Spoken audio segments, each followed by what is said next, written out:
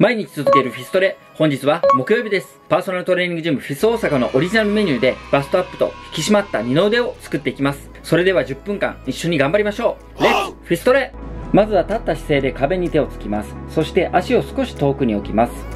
スタートです。壁ギリギリまで顔を下ろしていきましょう。背筋をピンと伸ばして胸を張って行うと良いです。しんどい方は足の位置を壁の方に近づけると負荷が軽くなります。もう少しです。頑張りましょう。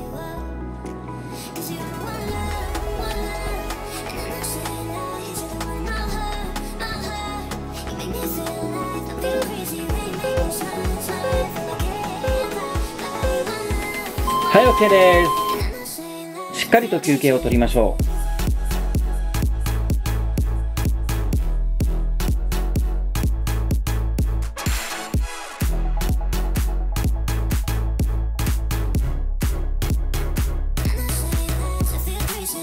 次は壁に向かって体の横をつけます。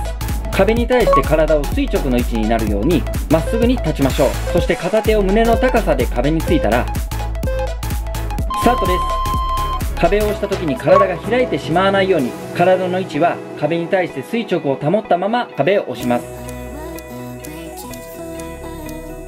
可動域は狭いですが押している方の胸に強い刺激が入るはずです。丁寧に行っていきましょう。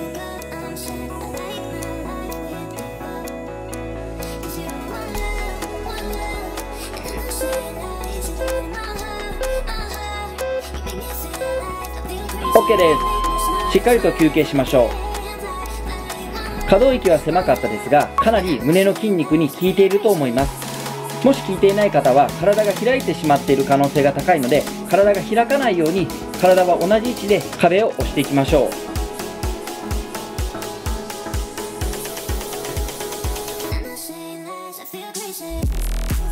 続いては反対側を行います。やり方は同じです。スタートです。壁を押した時になるべく体が開かないように壁を押している胸の力を使って体の重さを押していきましょう。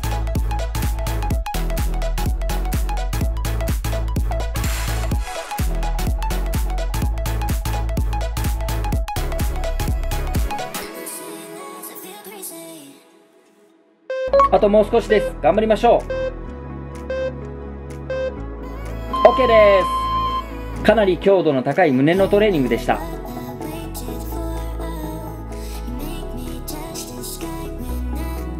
続いては姿勢を良くするための背筋のトレーニングを行っていきます。背中の柔軟性と胸の柔軟性が改善することで胸郭が上がりバストアップができます。うつ伏せに寝転んだ状態で準備しましょう。スタートです。よく体育の授業でやったような背筋トレーニングを行います。手を横にして背筋で背中を持ち上げていきます。特にデスクワークが多い方やスマホをよく触る方は背中の柔軟性が低下していて胸がきちんと広がらない方が多いのでこちらの運動はとても効果的です。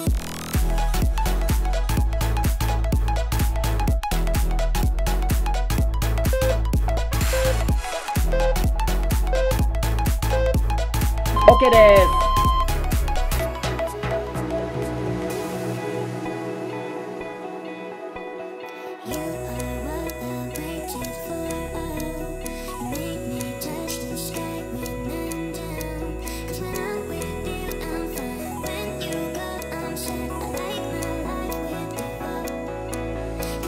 続いては先ほどの運動に手を付け加えますスタートです。手を伸ばした位置から背筋で背中を反らす時に肘を後ろに引きましょう。肩甲骨がより動きますので背中の柔軟性背中の筋力アップに効果的です。こちらも自分のできる範囲で結構ですのでしっかりと行っていきます。下がる時に床に顔がつかないように浮かせた状態で引いていきましょう。あともう少しです。頑張りましょう。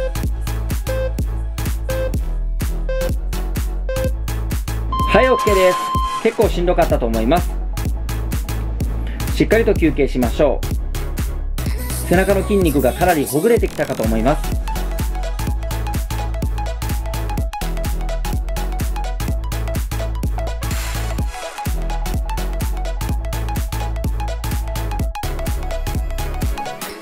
続いては四つん這いの姿勢で腕立て伏せを行います。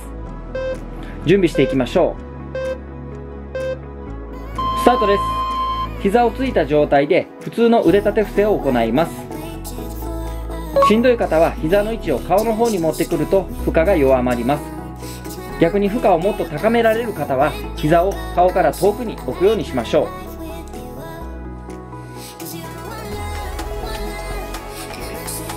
あともう少しです頑張りましょう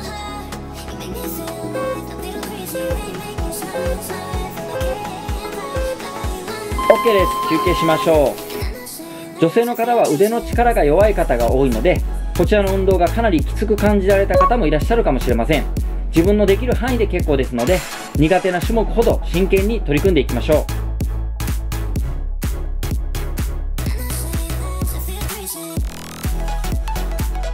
続いても先ほどの運動のバリエーションになります。四つん這いの姿勢になって準備していきましょう。タートです。先ほどの腕立て伏せの少し下げた状態から左右と体を揺らしていきます。常に負荷がかかり続けた状態になりますのでかなりきついと思いますが頑張りましょ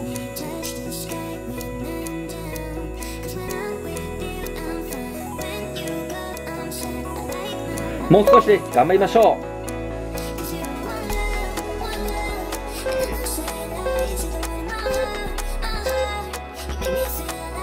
オッケーです。はい休憩してください。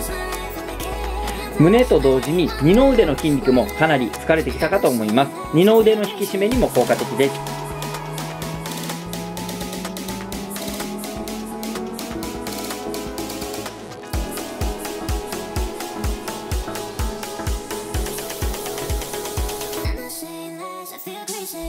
続いても腕立て伏せのバリエーションになります。四つん這いの準備をしましょう。スタートです。続いては手のひらを先ほどより少し斜めに開いて体を下げた後は真下に押すように腕立て伏せをしていきます。先ほどとは違った胸の部位に効いてくると思います。体を下げた後は下に押すイメージで行っていきましょう。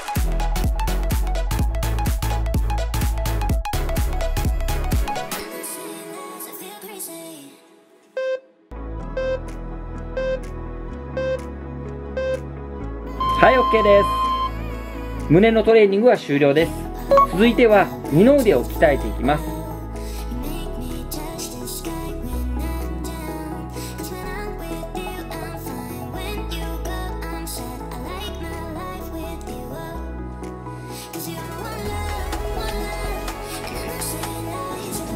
座った状態で手を後ろにつきましょう。膝は自然な角度で曲げておきます。お尻を上げてスタートです。お尻を上げた状態で肘を曲げ伸ばしします。伸ばす時にしっかりと伸ばしきることが大切です。二の腕の筋肉にかなり刺激が入っていると思います。肘は曲げられる範囲でいいので頑張りましょう。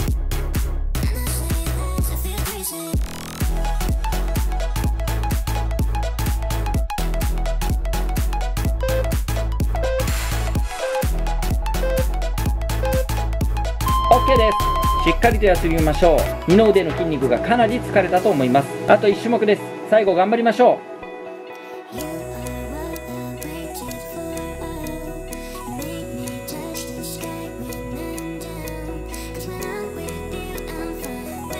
最後の種目は座った状態で行います。あぐらで行っても正座で行っても構いません。最後に胸をさらに追い込んでいきます。手のひらを胸の前で合わせて合掌のポーズをします。タートです。その状態で押し続けます。30秒間押し続けてください。かなり胸の筋肉が辛くなってきますが頑張りましょう。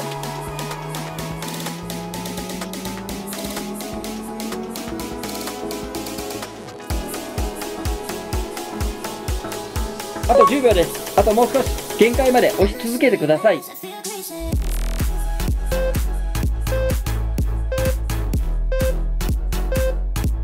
お疲れ様でした。これで10分間トレーニングは全て終了です。休憩しながらお話をお聞きいただければと思います。今回のトレーニングはいかがでしたか？今回は胸周りと二の腕周り、姿勢を良くするための背筋トレーニングも取り入れていきました。姿勢が変わるだけでもバストアップしてきますので、無理せず自分のできる範囲で毎週続けてくださいね。明日は金曜日です。10分間トレーニングで上がったお尻と引き締まった足を作っていきます。本日は本当にお疲れ様でした。また明日も頑張りましょう